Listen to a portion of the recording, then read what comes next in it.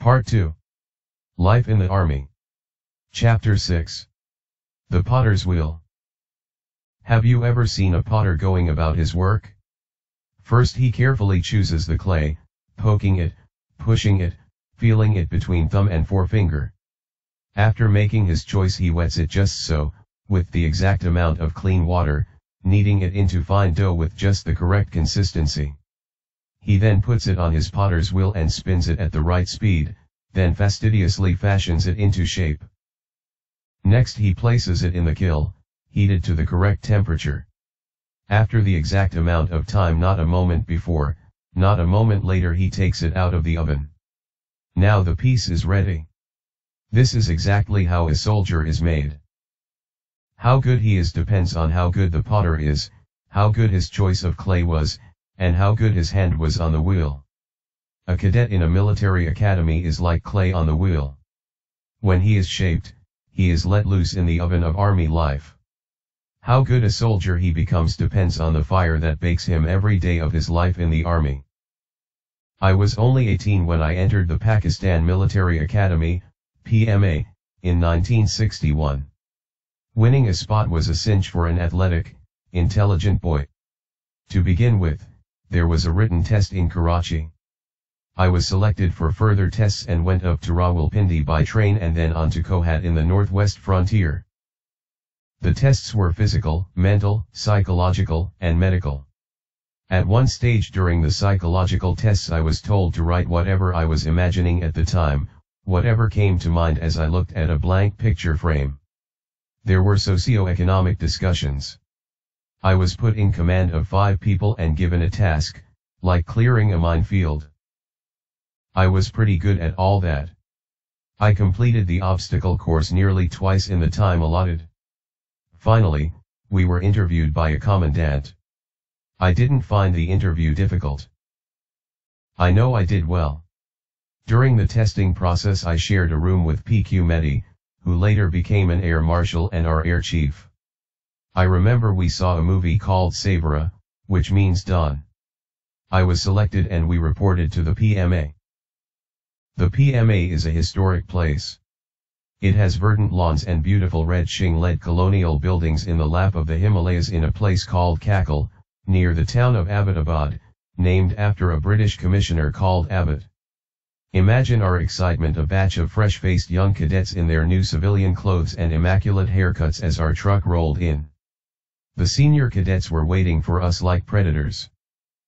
Now imagine our shock when our smiles were met with deafening commands crawl under the truck, now climb over it.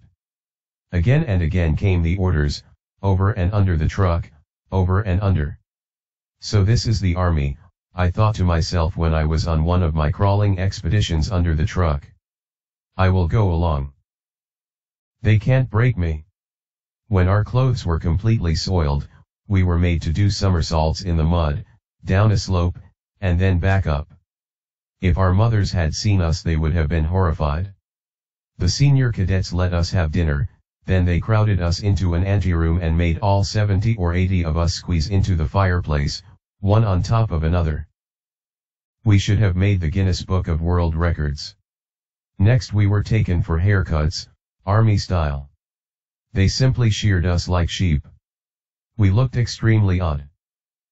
They made us do all sorts of indescribably silly things, like balancing a metallic tub of ice-cold water on our heads in the dead of winter, which in Kakul is very cold. If the tub falls, not only do you get drenched and freeze, you are given another equally terrible punishment. I had been told to expect hazing or ragging as we call it in Pakistan and was prepared for it, but it was a terrible experience nevertheless. That first night I fell onto my bed and was out like a light, overcome by conflicting emotions from excitement to incredulity to exhaustion.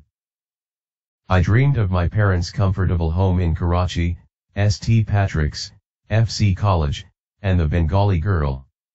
Not many boys break down under ragging, and I took it in stride. It lasts for only the first 10 days. I learned to outsmart the raggers. I would do whatever they said like front roll slowly, so as to exert myself as little as possible, or I would simply hide in the bathroom until the ragging was over. I knew that they were not allowed to touch us. I knew too that when I became a senior I would be ragging the new cadets myself when my turn finally came, I didn't rag much, and I was never cruel. I ragged with a purpose, to instill discipline and respect for authority in soldiers to be. Soldiers become a breed apart, a breed that willingly dies for its country without question. It was in the PMA that I actually started studying seriously. Fortunately, I learned that if I applied myself, I could excel. We were taught all kinds of subjects science, mathematics, geography, military tactics, map reading, and of course, weapons training and drill. We were also taught how to command men and get the best out of them. We learned how to absorb psychological pressure and develop physical endurance. Above all, we learned about making decisions in a crunch, and no ordinary crunch, the kind that could mean the difference between life and death yours and others. If the men under you don't trust your decisions, they will not have the confidence to go into battle under your command.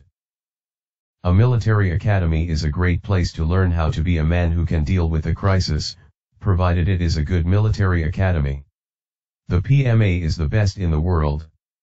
I did well in the PMA and was one of the top cadets in my course, one of the 10 sword carriers.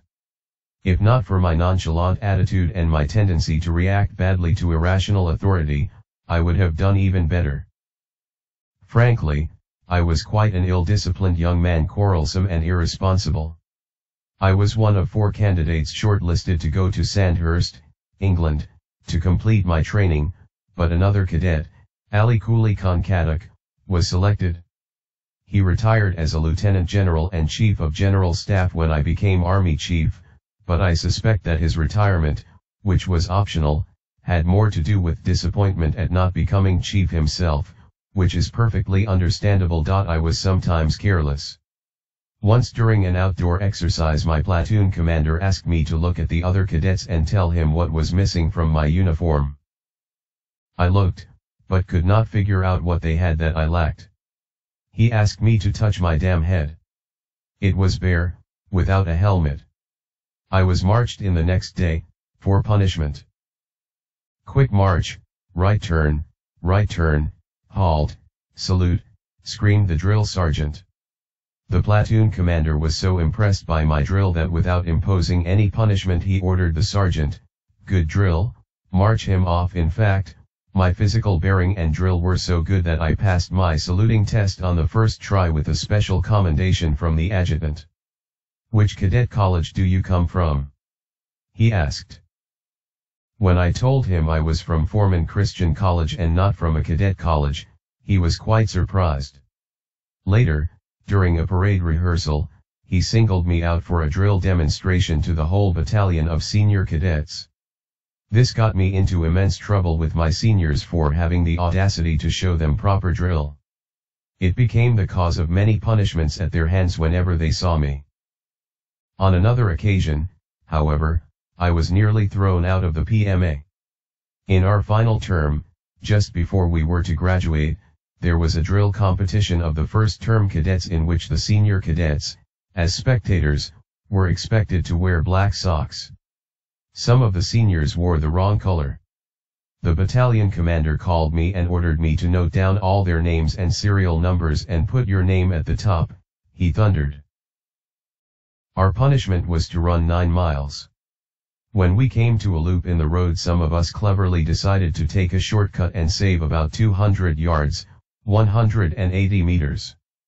Unknown to us, we were being closely watched through binoculars. About 15 of us were caught. Inquiries started, and the whole thing became quite serious. Academy officials were determined that we should be thrown out for taking the shortcut even though six of us who had done so were sword carriers who were to lead the graduation parade. Luckily, good sense prevailed and we were spared expulsion. Instead, our course grade was lowered. I was the battalion junior under officer, and my position in the class would have been very high on merit, but as punishment we were pushed down six positions. So even though I ranked fourth in my course, I was placed 10th. Other junior under officers got moved up six positions and thus graduated above us. The experience at PMA was akin to an overhaul being taken apart and put back together differently. Gaining acceptance into the school was like being chosen as the right clay. The PMA wet us the clay and placed us on the potter's wheel, ready for fashioning by the potter's hand. Once fashioned, we were all set to be baked and hardened in the kiln. I was now ready for the army, guided by the maker's hand.